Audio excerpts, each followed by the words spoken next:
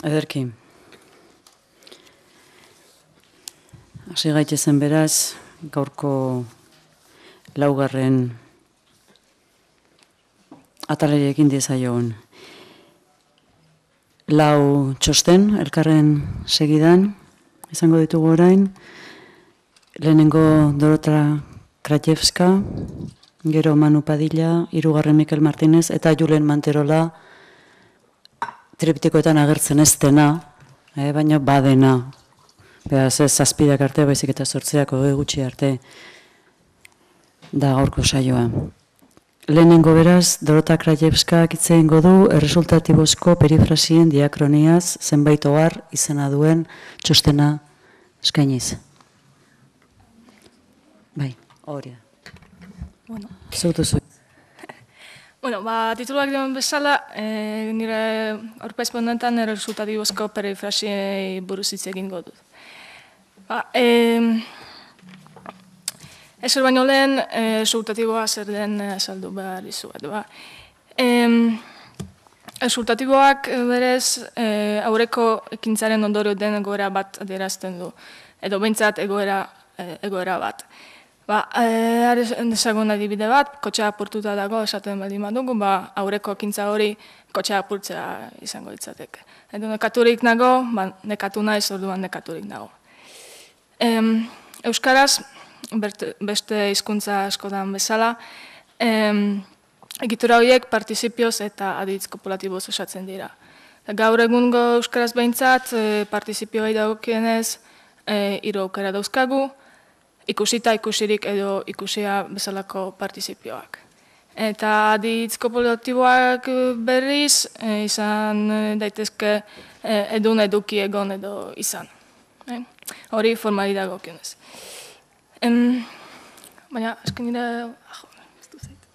E, jarri nahi nuen nire akuesponda, baina, fin.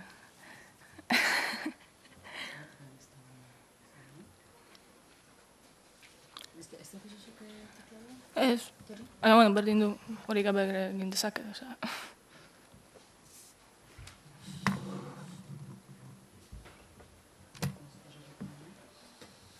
Bueno, ba, eh, bit...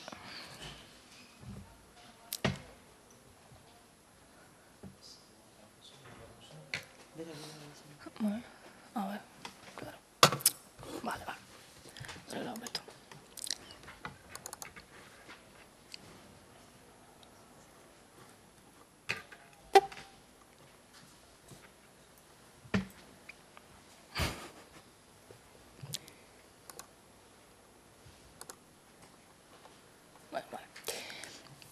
Vale, eh, esan bezala, eh, resultatiboak eh, egoera bat adierazten duen, duela. E, baina diakronian e, egitura horiek bere esanahia aldatzeko jora dute. Eta egoera bat, e, ez da zehatzago aurreko kintzaren e, ondorio den egoera bat adierazi beharrean, e, e, ekintzari berari referentzia pasatze, e, egitera pasatzen dira. Eta horrela perfektu e, biakatzen dira. E, aldaketa hori e, tipologikoki nahiko orunta da, da euskuntza askotan e, gertatu da e, romantzez, germanikos e, eta bar. E, eta baita e, Euskara zaharrean ere, e, gaur egungo e, perfektua e, munolek bere tesian erakotsi zuen bezala ere, jatoriz ere resultatiboa zen. E, baina, bueno, e, niri e, lan honetan interesatu zaizkit resultatibo berriagoa. Gaur egun ere, gaur, gaur egun oraindik normalean resultatiboak e, direnak, baina badute beste erabilera e, kurioso batzuk eta horiek ematen dizkizuet e, urengo adibidetan. E, adibidez, e, film ordoa ikusita gaude edo daukagu esaten dugunean ez dugu egoera bati buruz egiten baizik eta e, ekintza bati. Eta gauza bera, esan beste adibide, segaren adibidean, esan nuen, esan behar nuen guztia esan da daukat. Hor ez dugu egorarik baizik eta ekintza bat. Eta alako e, erabien sorrera e, ikertu nahi izan dut nire e, lan honetan. E, horretarako e, bizkaera, gipuzkera eta nafarrerazko e, testuen korpus bat erabili dut. Hamas zazpigarren e, mendetik hogei mendera arte.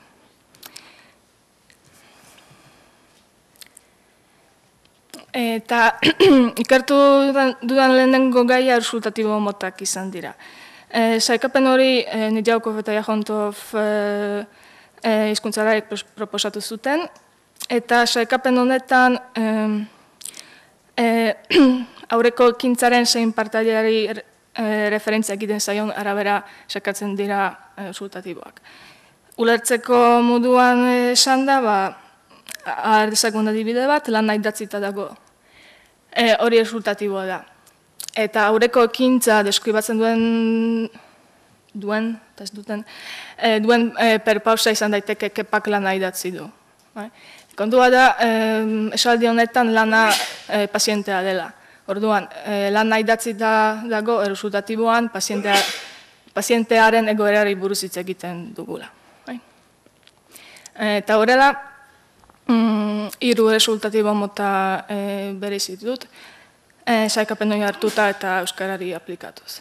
Ba, lehenengoan, P resultatiboan, e, lehenengo dibidean bezala, e, paziente edo jasaiari egiten e, zaio referentzia. Adibidez, bo, lan nahi dago, e, sua jaingoak egina da, eta itxirik zegoen eta e, abareko adibideak. E, bigarren resultatibo mota, e, ez resultatiboa, E, hemen e, aditzi iragan gaitzen e, argumentu bakarraren gora buruz egiten dugu, adibidez. E, beste maikatoki gaigotik etoria zen jendea. Ba, aurreko ekintza deskipatzen duen perpausa itzateke e, jendea etori zen. Duan, jendea etoria zen, ez resultatiboa da. E, eta azkenik, mm, a, a, resultatiboan, e, agentearen goberari buruz e, hitz egiten da. E, adibidez, makina bat kaskareko dudanak goberak eman da. Orduan, em, em, tipologikoki, e, resultatibo aruntenak e, resultatiboak dira. Eta hizkuntza batek A resultatibo baldin badu, e, orduan e, beste e, resultatibo motak ere izango ditu.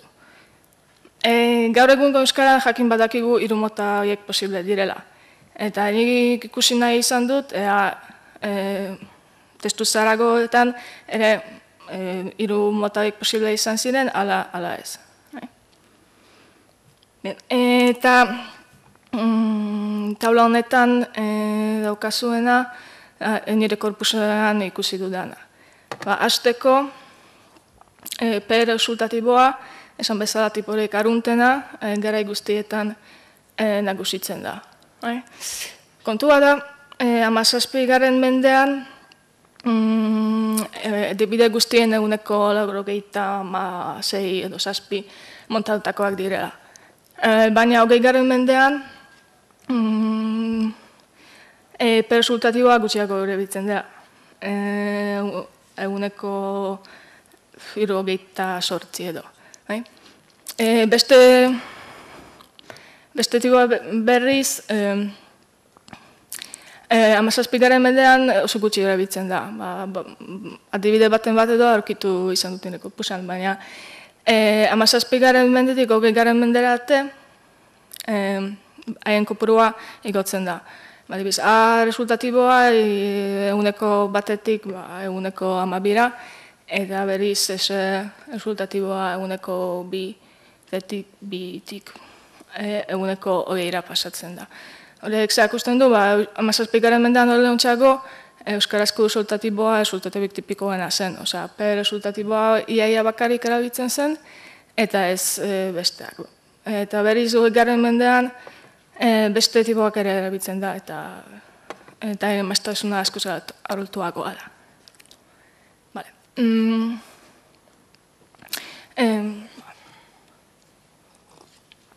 Nire bigarren gaia, mm, egituraren esanaia izan da. Eta hemen e, lau e, e, esanai mota bereizi izan ditut. Ba, azteko e, utxa, esan bezala e, egoera bat adierazten duena. E, bestetik, e, rebidea pasiboa. Hemen resultatiboan ez bezala ekintza bati buruz hitz egiten da. Adibidez, kainen eskuz hilia izan zala, horrek e, ekintza bat e, deskribatzen du. Eta e, ge interesatzen zezkitak izan dira perfektu eta, eta esperientzia.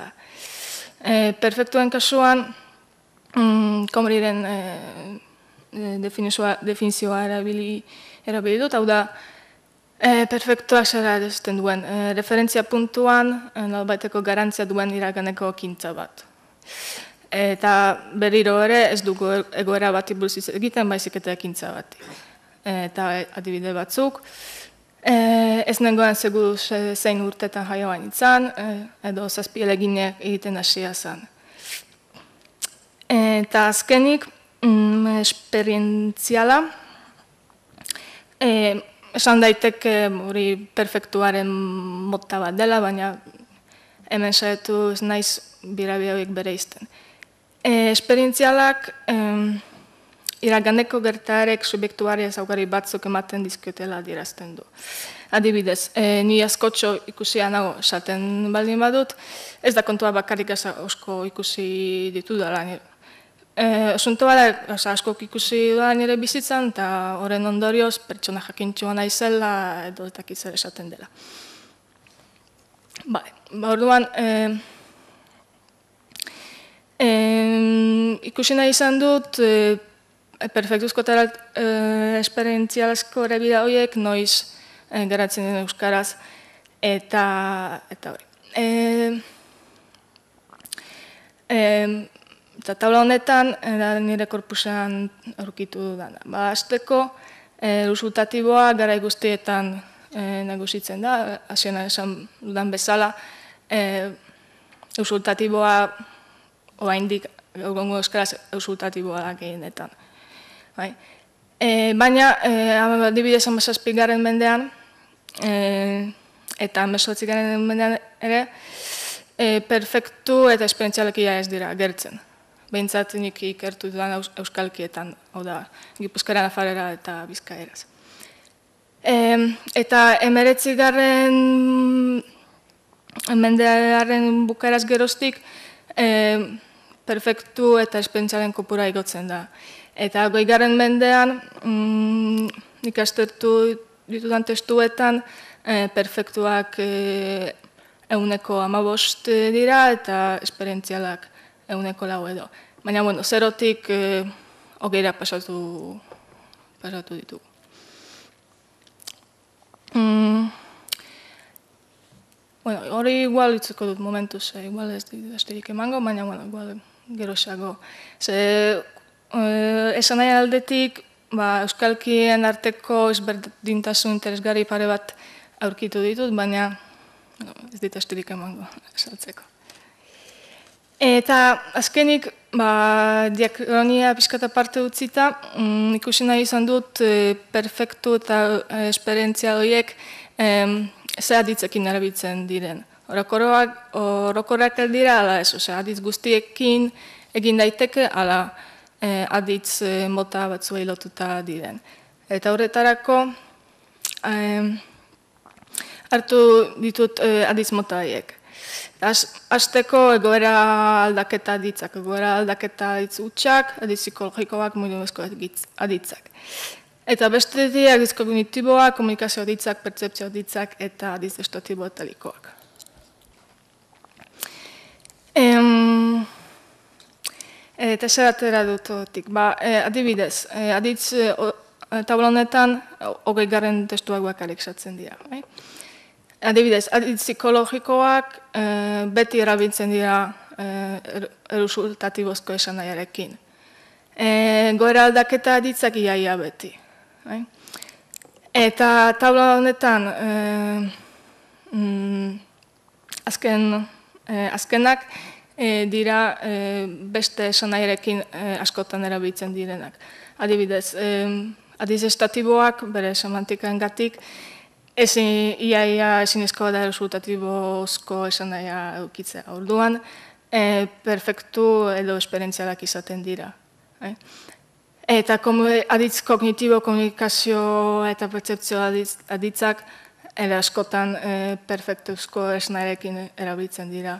Adibidez, komunikazioa ditzak, ba, e, perfektuzko esnarekin, esnaiarekin, eguneko irogeita bost. Bai?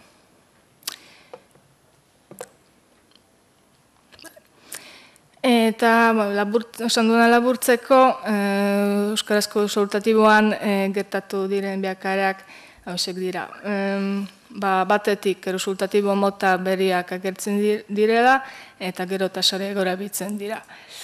E, bestetik, e, esan nahiari da gokionez, e, erabia esperientzialak eta perfektuzko erabileak e, zabaldu, zabaldu dira. Eta eh, azkenik eh, adiz moten analiziak erakusten du eh, erusultatiboak eh, mm, perfektuzko eta oza, perfektut esperientzialak ez dira guzti zorokora. Gehienetan adiz eh, mota batzuekin erabitzen dira eta eta hori. Eskerik asko.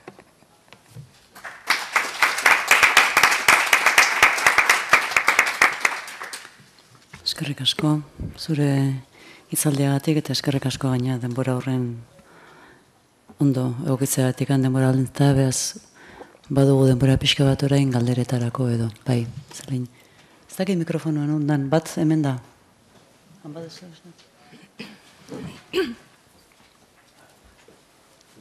Bai, piztu dut. Baina bestea? Berba, onbarruan bada. Uh, Mileskar zure itzaldiaren gatik, biziki intesgarria ditu zait. Uh, badutu pare bat, ala ere, um, formei buruz. Uh -huh. uh, Lehenbiziko irudian aipatzen dituzu resultatibozko egiturak. Eta uh, iduritzen zait, uh, denak batera tratatzen dituzula eta uh, ez dituzula gero bere izten, uh, gero zure zenbaketak egiteko momentuan. Eta iduritzen, iduritzen zait, entzuzen ere, intesgarria ditzatekela, forma bakoitza bere aldetik aztertzea, Uh, kronologia desberdinak dituztelako, uh, gramatikalizazio prozesu desberdinak dituztelako, eta uh, aparte bere izteak, uh, aparte tratatzeak, uh, zure datuak ere uh, azalduko lituzkelako. Uh, adibidez, uh, nekaturik nago bezalako egitura bat, amasei mendean jadanik existitzen zen.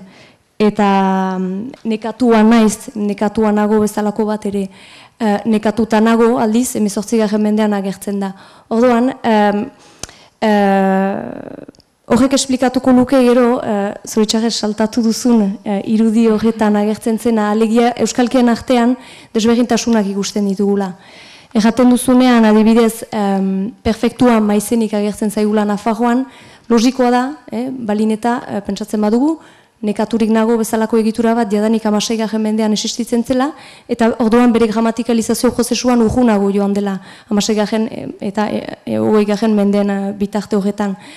Aldiz, e, nekatuta nago bezalako egitura bat, oraindik ere emezortzi garen mendean egesultatiboa bali mazen, espero dugu behar bada ez zain fite e, aldatu izana e, e, tarte horretan. Ordan kronologia horiek, e, uste dut kontuan hartu behar direla, eta bestalde batetik, e, forma bakoitzak bere uh, gramatikalizazio prozesua izan duen neugian, uh, uste dut bakoitza bere aldetik tratatu behar litzatekela. Baina, ala ere, uh, zure itzaldiaren gatik, mm -hmm. uh, intesgarria dut zailarako. Ba, bueno, ba, ados nago e, gauzai kontu, kontuan antu behar dira, baina saiatu, saiatu naiz hori egiten ere, baina ez dakit, um, ba, dibidez, um, A ver. Mm. Eh, hemen lehenengo eh, perfektu eta esperientzialak eh, bizkaieraz aurkitu ditut, eta ta partizipioekin.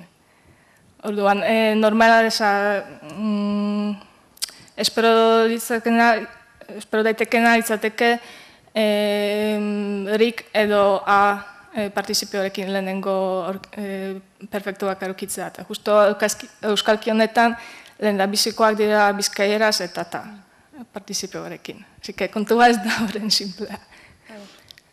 Baina berez, e, uste du alako e, lehenengo adibidea zaharrena, e, leizarak gan aurkitu dut eh, esperientzial moduko zerbait, eta hori bai e, Bai, izana, e, izanak zira dela edo lako zerbait, eta hori bai. Baina, Bai, eh, aldaik ere beritesian biltzen ditu horiek. bai, bai. Baina justo nire korpusean hor, mm, ba bueno, Bai. Baina behar bada geroari berik, begira, eh, berezi luke horiek eh, banaka zertzea. bai.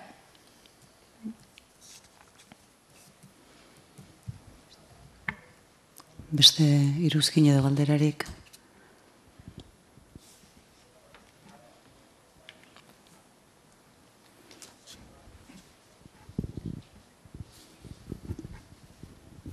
Tira ba.